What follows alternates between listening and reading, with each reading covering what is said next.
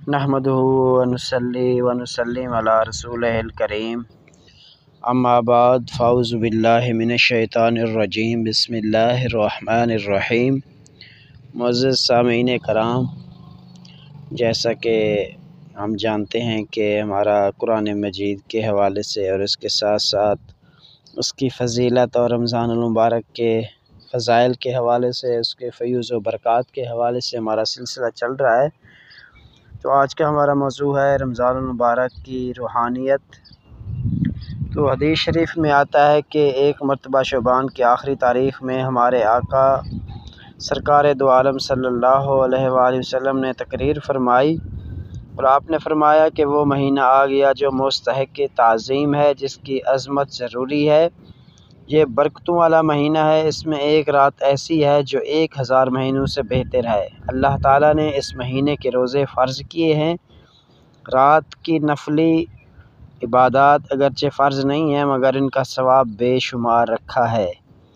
तो आप सल्लल्लाहु अलैहि वसल्लम ने फरमाया, इस महीने में नफल का सवाब ऐसा है जैसे खुले दिनों में फ़र्ज़ का सवाब मिलता है और इस महीने में फ़र्ज़ का सवाब दूसरे दिनों से सत्तर गुना ज़्यादा होता है। ये सब्र का महीना है, इसमें खाने, पीने और तमाम बुरी बातों से रुकना और अपने आप को काबू में रखना होता है। आप सल्लल्लाहु अलैहि वसल्लम ने फरमाया, सब्र का सवाब जन्नत है। इरशाद हुआ, ये हमदर्दी गम खारी का महीना है, गरीबों से हमदर्दी, भूखों नंगों से हमदर्दी, कमज़ोरों से हमदर्दी, अपने मातहतों से हमदर्दी, हर एक मखलूक से हमदर्दी, हर एक के गम में शिरकत, हर एक की मदद। यानी ये महीना है, इसमें साहिब ईमान के रिज़्क़ में इजाफ़ा किया जाता है। जो शख्स दूसरे रोज़ेदारों का रोज़ा इफ्तार कराए, उसको बराबर का सवाब मिलता है और रोज़ेदार के सवाब में कोई कम बेशी नहीं आती। दूसरे रोज़ेदार को पेट भर कर खाना खिलाना वो बहुत अच्छा है। अगर ये मैसर नहीं तो एक दाना खजूर, थोड़े से दूध या एक गिलास पानी पिलाकर रोज़ा अफ्तार करवाया जा सकता है। तो इसका भी उतना ही सवाब है। आप सल्लल्लाहु अलैहि वसल्लम ने फरमाया, ये एक ऐसा महीना है जिसका आगाज़ अल्लाह की रहमतों से होता है और इसके वस्त में, यानी इसके दरमियान में गुनाहों की बख्शिश होती है और इसके आखिरी हिस्से में दोज़ख से निजात मिलती है। यानी रमज़ान मुबारक के तीन अशरे हैं। पहला अशरा रहमतों का अशरा है। दूसरा अशरा गुनाहों से बख्शिश का अशरा है। तीसरा अशरा दोज़ख से निजात का, दोज़ख से आज़ादी का अशरा है। इसी तरह रसूलुल्लाह सल्लल्लाहु अलैहि वसल्लम ने फरमाया इस मुबारक महीने में जो शख्स अपने नौकर, चाकर, अपने ग़ुलाम या अपनी बांधी का काम हल्का करता है, उसके काम में तखफ़ीफ़ कर देता है तो अल्लाह ताला उसको आतिश जहन्नम से, आतिश दोज़ख से आज़ाद कर देता है। इसी तरह आप सल्लल्लाहु अलैहि वसल्लम ने फरमाया, जैसे ही यह महीना शुरू होता है, जन्नत के दरवाज़े खोल दिए जाते हैं दोज़ख के दरवाज़े बंद कर दिए जाते हैं और एक पुकारने वाला पुकारता है और पुकारता रहता है। जो खैर के तालब हैं, जिनको अच्छे कामों की तलब है, वो आगे बढ़ें। बड़ा अच्छा मौका है। जो बदकार हैं, जो बुराइयों में मुबतला रहते हैं, वो बाज़ आ जाएँ। तोबा कबूल करने का बहुत अच्छा वक्त है। एक मरतबा हज़रत सल्लल्लाहु अलैहि वसल्लम ने मंबर पर तशरीफ़ फरमा थे। तो आपने यक के बाद दीगरे तीन दफ़ा फरमाया, आमीन आमीन आमीन।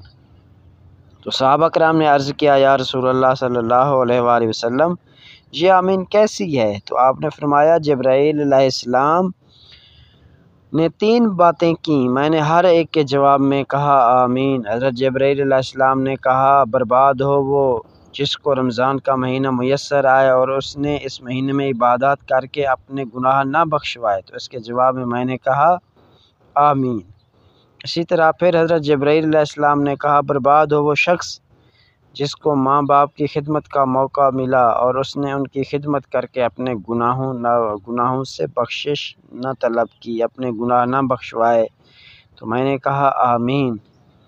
फिर हज़रत जब्राम ने तीसरी दफ़ा कहा, बर्बाद हो वो शख्स जिसके सामने मेरा नाम लिया गया हो और उसने मुझ पर दरूज शरीफ ना पढ़ा हो। तो मैंने कहा, आमीन। तो इसीलिए हमें क्या करना चाहिए? तो इससे हमें ये चाहिए कि रसूलुल्लाह वसल्लम ने फरमाया कि रमज़ान मुबारक में नेकियों का सवाब जैसे बढ़ चढ़ कर कर दिया जाता है। नफिल, नमाज़ का सवाब फ़र्ज़ के बराबर कर दिया जाता है फ़र्ज़ का नवाब, सवाब सत्तर गुना बढ़, बढ़ा दिया जाता है।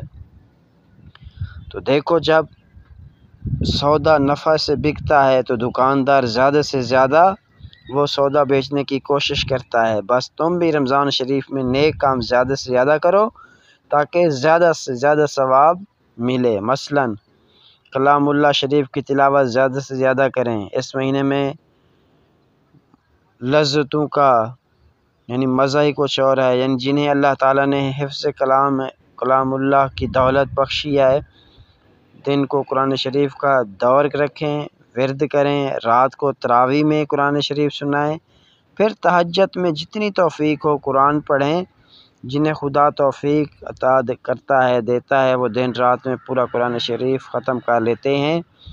अगर आप हाफिज़ नहीं हैं तो जितनी ज़्यादा मुमकिन हो, नाजरा तिलावत करें, मगर कुरान शरीफ सही सही पढ़ें। ठहर ठहर कर पढ़ें, पूरे अदब व एहतराम के साथ पढ़ें, दिल लगा कर पढ़ें, दिल अचाट ना हो तो ना पढ़ें। यानी असल बात यह है कि ये मुबारक महीना कुरान शरीफ का महीना है, इसकी तलावत करने का महीना है, इससे ज़्यादा से ज़्यादा अमल करने का महीना है।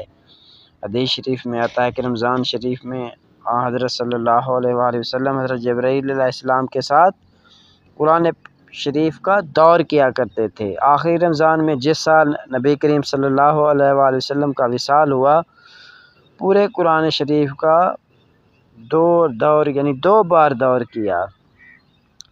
हज़रत सल्लल्लाहु अलैहि ने फरमाया, ये महीना सब्र का महीना है। सब्र का मतलब है तहमुल करना, बर्दाश्त करना, काबू में रखना, जमे रहना, रुके रहना।